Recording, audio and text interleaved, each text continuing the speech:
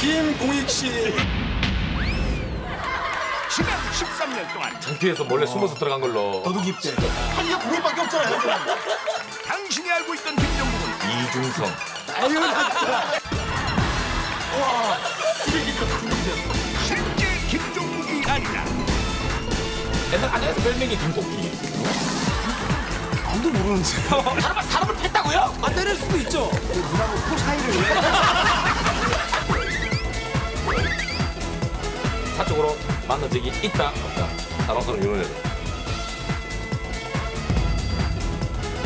사람이 살다 보면